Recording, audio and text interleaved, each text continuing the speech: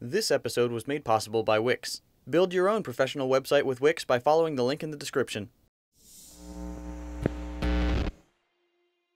Humans are pretty good at figuring out how to make more money. It's what drives our society. Since the Industrial Revolution, we've put countless hours of research and testing into developing newer, more efficient, and more profitable ways of getting our jobs done. From production lines to robotic arms to complete automation of processes, it's easy to think that we've just about reached the fullest potential of efficient manufacturing. But, as always, a few enterprising organizations and individuals have decided that's not good enough. We may have started to realize diminishing returns on Earth, but the completely different environment of outer space still has mountains of untapped potential. Things that we struggle with on Earth, handling the toxic byproducts of certain industries, wasting huge amounts of water to disperse heat, all of these things become non-issues in the vacuum of space. If we can master this new environment and mitigate the risk involved with working in space, the future of industry could look vastly different than it does today. Consider fiber optic cable, for example the technology responsible for high-speed data transfer and long-distance telecommunication. Some exotic forms of fiber optics, such as ZBLAN, are plagued by gravity. These cables can be made on Earth, but it's tricky and the results can be poor. Besides length limitations, gravity causes inconsistencies in the crystalline structure of ZBLAN, making for a weaker signal. There's a huge opportunity for businesses to improve this process, because higher quality ZBLAN is incredibly valuable. The purest examples can fetch over a million dollars per kilogram, the solution? Luggage-sized, self-contained drop towers designed to be launched into space to take advantage of the microgravity environment aboard the ISS.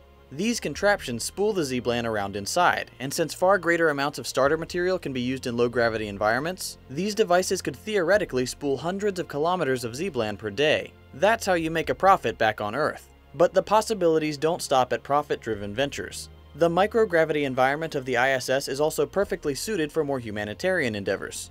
Our medical science has made great strides in stem cell technology and biological 3D printing in recent years.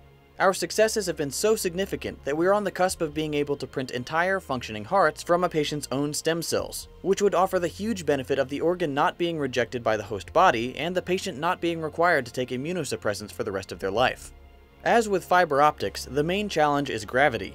In order to build heart tissue, the nutrient and stem cell mixture within the bioinks used in printing needs to be a very liquid consistency.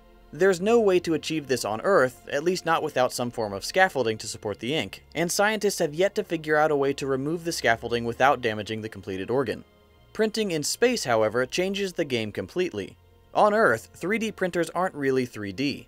They print by stacking two-dimensional layers of material on top of each other, which is very time-consuming. In space, with their specially designed 3D printers, the speed is improved by up to 100 times. In a recent test, a 3D printed human heart lost about half its height when gravity was restored almost immediately after printing. Allowed more time to mature aboard the ISS, a printed organ would be ready for use on Earth about 45 days after printing.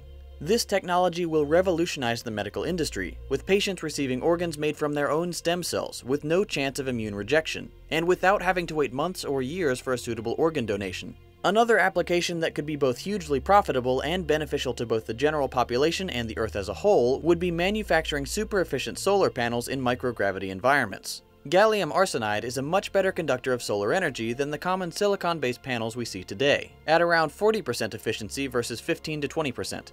The only problem is, manufacturing these panels produces many toxic byproducts, such as arsenic. Back in the 1990s, a University of Houston scientist made the first gallium arsenide semiconductor in space. The resulting product was 10,000 times better in quality than its Earth-made counterparts.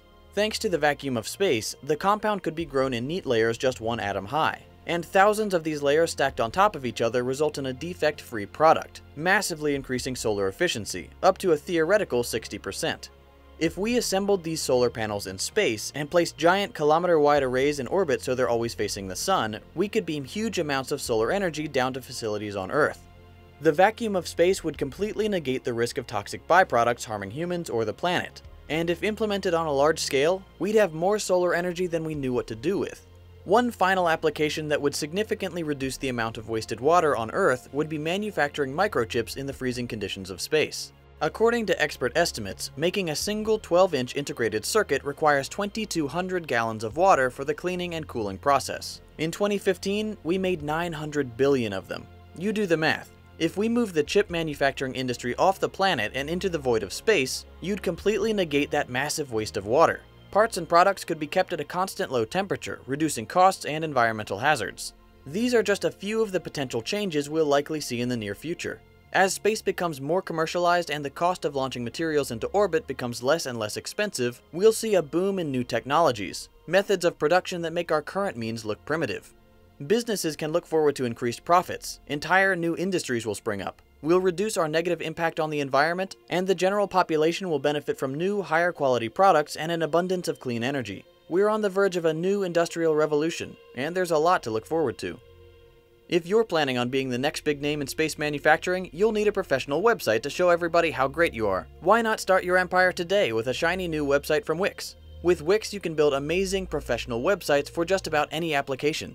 Whether you want to host videos, share your photo gallery, book clients, sell products, or just about anything else you could ever want. Whether you need a professional website for your own personal use or for e-commerce, music, hotels, or restaurants, Wix does all the heavy lifting, like hosting, custom domains, email marketing, and more, allowing you to focus on the creative side of things.